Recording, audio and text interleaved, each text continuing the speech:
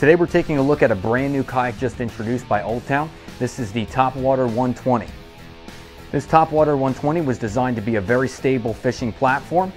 The specs on this boat is 12 feet in length, 33 and a half inches wide. This boat comes in at weighing 82 pounds and gives you a total capacity that it can handle of 500 pounds.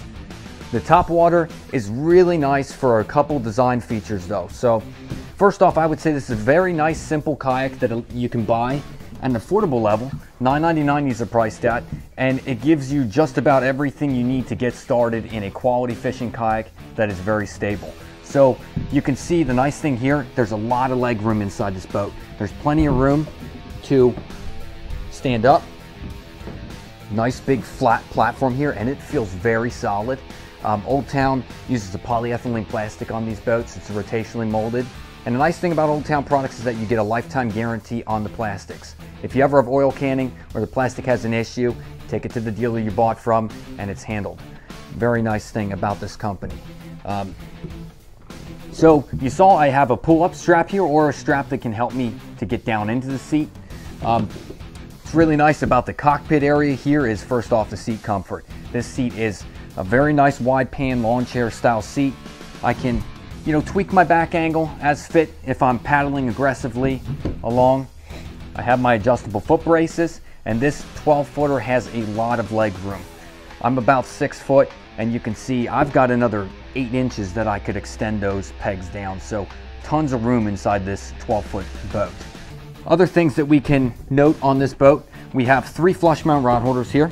You're gonna see we have two behind me, which kind of if I'm trolling or just paddling out to where I'm going to fish, that's a great spot to just keep those rods out of the way so I'm not hitting them with the paddle. Old Town does something interesting though. They add this flush mount right up front here.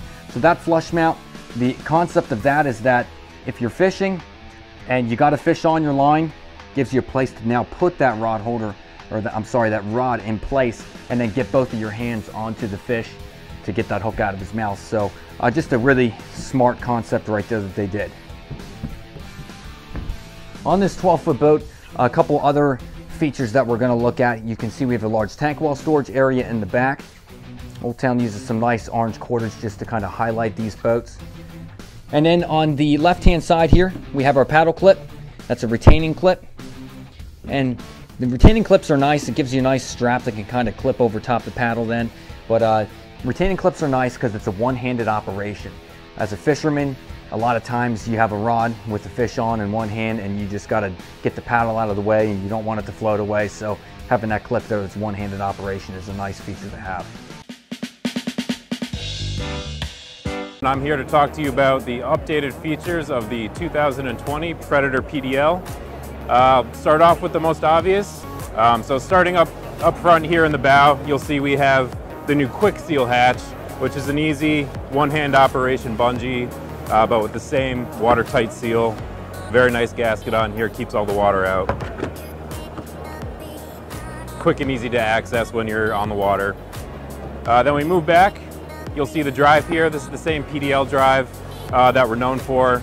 Uh, small update is we changed the hatch style on here. So we went from the round uh, flat hatch on the, the PDL drive, updated to the rectangular hatch. This has a much better seal on it, more watertight, um, it's a lot easier to, to use and access. You got some, some bungees on here. You can uh, clip your phone or accessories, your pliers, whatever you want uh, to that itself. Then up front, you got uh, your mounting plates here. Uh, what we did is we drilled out the accessory track mounts, uh, which is the standard uh, accessory track attachment system. so these are now standard on here. Um, we left room in the middle so you can also screw in whatever accessory you want, rod holders, GoPro mounts, whatever you have up here on the front. Um, and then moving back, there are two more that also have the accessory track, so you have four total. As we move it to the, the inside, the cockpit of the Predator PDL, you'll see we did away with the Exo Ridge uh, platform and we've replaced it with a nice EVA foam uh, material. Nice and soft, very grippy, so you can stand up, not lose your, your, uh, your grip there when you're stand-up fishing. Um, it's a nice, nice touch, very comfortable, and a nice update there. Um, staying up front in the cockpit, you'll see we added a forward-facing rod holder uh, right there on the right side of the kayak. That's for switching out lures, uh, landing fish, just a quick, easy place to stash your pole um, without really thinking about too much or reaching behind you. You can just stick the pole right in there and do what you need to do. Um, you'll see this, uh, the trucker style knob that we added uh, with a locking screw so you can lock your rudder into place to control your drift or if you're in a lot of current uh, or tide. Um, you can secure your rudder where you need it without it kind of drifting off on you. Uh, plus that trucker style knob is a lot easier to grip, a lot easier to turn your kayak. Uh, moving towards the stern, uh, same big tank well, nice and deep. Um, you can fit all whatever crate you want to use back here, coolers, catch bags, uh, live wells. Um, you'll see those accessory tracks uh, that we added on the mounting plates. Um, and then another big addition we made this year um, is the shallow water anchor mounting system. Uh, so this you'll see is a nice flat platform with pre-drilled screws so you can mount your shallow water anchor, a nice hole in the back where the, the pole will go right down there and you can anchor in the mud. Um, you can run your wiring all the way through up to your battery bag in the front. And I'm here today with Perception's Pescador 120 Pilot. Uh, now you may recognize this boat from the uh, Pescador uh, 120 that we reviewed last year in Kayak Angler, uh, and it is in many ways the same kind of same boat, uh, but this one of course has the addition of this Pilot pedal drive starting out with this uh, great boat here, the Pescador 120. You know, we fell in love with this thing last year uh, for a great value. You get so many fishing features and in a well-built boat.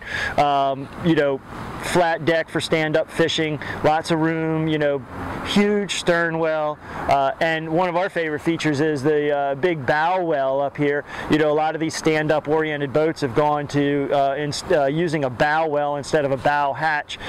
Really convenient place to throw a million things that you use during the day, put them in a dry bag, uh, throw them up in the bow well. Um, you know, how many times a day do you use a bow hatch? You know, if you're not going on long trips or, you know, going through the surf, then, you know, a bow well is the way to go for sure. Um, just like the uh, Perception uh, Pescador 120, uh, these really cool little uh, hatches in the bow. Again, another easy place to throw the little things you need a million times a day. These whole little tackle boxes and tools and stuff and keep them out of the elements. Um, gear tracks from YakAttack, uh, four of them, two in the deck and two in the gunnels, right where you need to put rod holders and, and uh, you know electronics and stuff like that. So real nice to have that addition in there too. Uh, molded in rod holders, vertical rod holders molded in. They also uh, you know included this really cool high-low seat or high seat uh, uh, frame seat. it can be removed and used as a camp chair, and it's a real comfortable seat for you know all day fishing, easy to get out of the way so you can stand up fish. Um, so, you know, for a great value. This boat comes in at $17.99, I think, right now. So less than $2,000. Uh, you get a pedal kayak and a great kayak, and uh, um, uh, you know you'll be well on your way to kayak fishing. So uh, this is Perception's Pescador 120 Pilot. Today we're taking a look at a brand new Old Town kayak that just hit the market, the Topwater. This is the Topwater 106. This boat has a length of 10 and a half feet, has a width of 34 and a half inches, with a max capacity of 440 pounds. Weight on this boat is at a 73 pounds. Topwater Series was designed to give a budget-friendly boat here. Uh, the boat is priced at 899, which is uh, really competitive with other brands that have lawn chair style seats. Um, nice thing about the Topwater though is durability on this boat is incredibly strong. This is built from polyethylene, rotationally molded plastic, and like the company Old Town uh, does with all their other products, they're going to give you a lifetime hull guarantee and plastic guarantee that your plastics in this boat are really stiff. They're not going to change shape or oil can over time. It's a really nice guarantee Old Town gives you on their boats. And I am in the Malibu Pedal by Ocean Kayak it's a pedal powered kayak. A few years ago I went out and bought myself a regular, you know, oar powered kayak at a farm goods store. It wasn't, wasn't really expensive. And my whole intent was to use it to go fishing, fishing from a kayak. I, I love the idea. But what ended up happening is that I'd cast my line and the wind would drift me down the lake and I'd have to paddle back, cast my line and drift again. So I thought that I would give a pedal powered kayak a chance and see how it works. So at the heart of the Malibu pedal is this PDL drive system. It's super easy to put in and put out. and it's actually propeller powered. A lot of pedal kayaks use flippers or a different propulsion system. The thing that I love about the way that this is set up is that it's a 10.3 to 1 gear ratio. Layman's terms, you can get started faster, get going much, much quicker than you can with maybe some of the other systems that are on the market.